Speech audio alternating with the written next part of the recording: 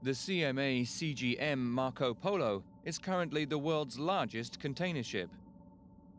It measures 54 meters wide by 396 meters long, roughly the same length as four football fields. The massive ship is manned by a crew of just 27.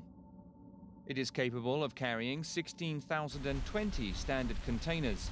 The next biggest class of ships carry just 11,000. The Marco Polo is currently calling at ports in Europe on its maiden voyage from Ningbo in China, where it is scheduled to return on January 23rd.